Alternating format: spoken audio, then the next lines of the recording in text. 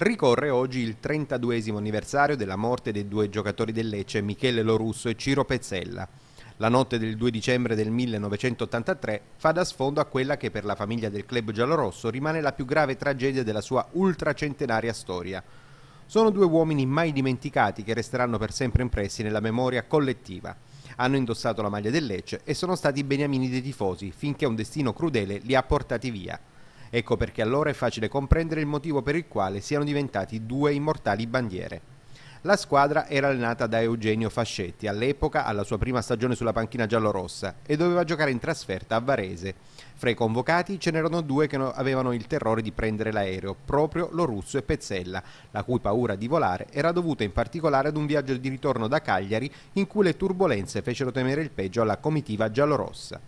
Per la sfida tra Varese e Lecce entrambi decisero di aggregarsi ai compagni viaggiando in treno, ma il convoglio per Milano allora partiva dalla stazione di Bari.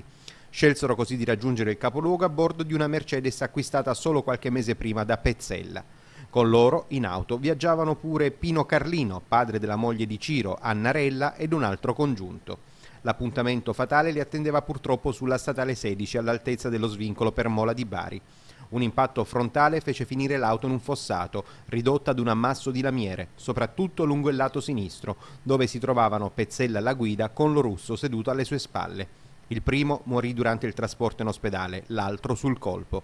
Da quel livido giorno di inizio dicembre di 32 anni fa, ogni anno società e tifosi giallorossi ricordano i due amatissimi calciatori, rendendo omaggio alla loro memoria e tramandandone le doti umane agonistiche davvero di altri tempi a chi non ha avuto il piacere e la fortuna di conoscerli e vederli giocare.